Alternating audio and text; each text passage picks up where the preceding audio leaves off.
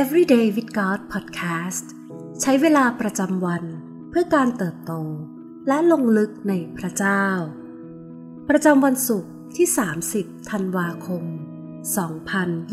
2022 ซีรีส์จงแสวงหาการหยุดพัก วันที่ 4 จงใคร่ครวญพระวจนะ การฟังหมายถึง การมีส่วนร่วมอย่างกระตือรือร้น ผ่านการได้ยิน การให้ความสนใจ หรือการเอาใจใส่อย่างตั้งใจ 2 ทิโมธีบทที่ 3 ข้อ 16 ถึง 17 กล่าวว่า พระคัมภีร์ทุกตอนได้รับการดลใจจากพระเจ้า และเป็นประโยชน์ในการสอน การตักเตือนว่ากล่าว การแก้ไขสิ่งผิด และการอบรมในความชอบธรรม เพื่อคนของพระเจ้าจะมีความสามารถ และพรักพร้อมเพื่อการดีทุกอย่าง พระคัมภีร์ทุกตอนได้รับการดลใจจากพระเจ้า เมื่อเราอ่านหรือฟังพระคำของพระเจ้า เมื่อเราใคร่ครวญถึงสิ่งที่พระวจนะกล่าวถึง เมื่อเวลาผ่านไป เราก็จะได้เรียนรู้ และจำแนกเสียงของพระองค์ได้ การใช้เวลาอย่างตั้งใจในการอ่านและศึกษาพระคัมภีร์ จะทำให้เราเรียงลำดับความสำคัญ และจดจ่อที่พระเยซูได้ถูกต้อง ในพระธรรมยอห์นบทที่ 10 ข้อ2ถึง5กล่าวว่า แต่คนที่เข้าทางประตู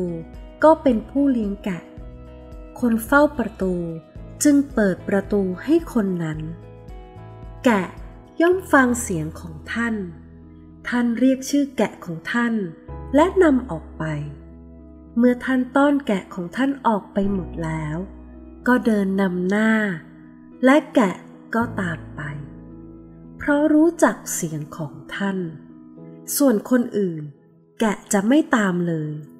แต่จะหนีจากเขา เพราะไม่รู้จักเสียงของคนอื่น เมื่อเราอ่านหรือฟังพระคัมภีร์ จงมอบเวลา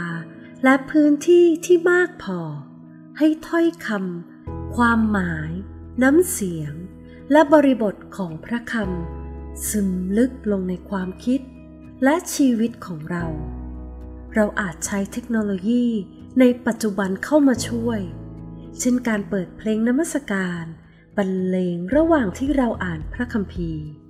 หรืออาจฟังพระคัมภีร์ฉบับเสียงจากแอปพลิเคชัน ไม่ว่าวิธีใด จงใช้เวลาของเราเพื่อใคร่ครวญเสียงของพระเจ้า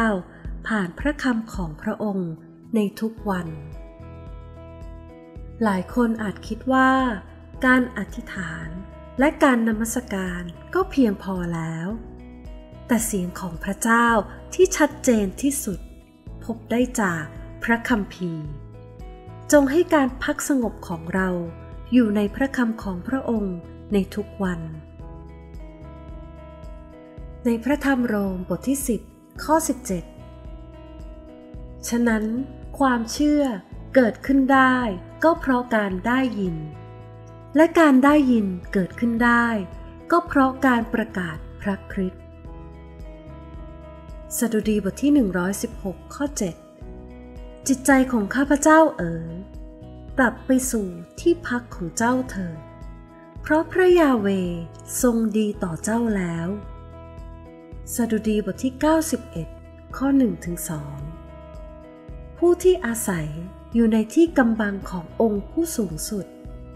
จะอยู่ในร่มเงาของผู้ทรงมหิทธิฤทธิ์ข้าพเจ้า จะทูลพระยาเวว่า ที่ลี้ภัยของข้าพระองค์ และป้อมปราการของข้าพระองค์ พระเจ้าของข้าพระองค์ ผู้ที่ข้าพระองค์ไว้วางใจ สิ่งที่ต้องใคร่ครวญในวันนี้ ลองใช้เวลาสัก 30 นาทีวันนี้ เพื่ออ่านหรือฟังพระวจนะของพระเจ้า ในระหว่างนั้น ลองปิดการแจ้งเตือน หรือเสียงโทรศัพท์ไปก่อน เพื่อใช้เวลาจดจ่อและจดบันทึก สิ่งที่พระคัมภีร์พูดด้วยลงไป ให้เราอธิษฐานด้วยกันค่ะ พระเจ้าที่รัก เรารักพระองค์ และเรารักที่จะฟังเสียงของพระองค์ เราขอบคุณพระองค์ ผู้ทรงอยู่กับเราเสมอ ในทุกเวลา ขอทรงช่วยเราให้ได้กลับมาพักสงบ และใช้เวลากับพระคำของพระองค์ ขอทรงเปิดหูของเราให้ได้ยินเสียงของพระองค์ ขอทรงเปิดหัวใจของเราให้ได้ฟังสิ่งที่พระองค์ตรัส และขอรับการเปลี่ยนแปลงชีวิต และความคิด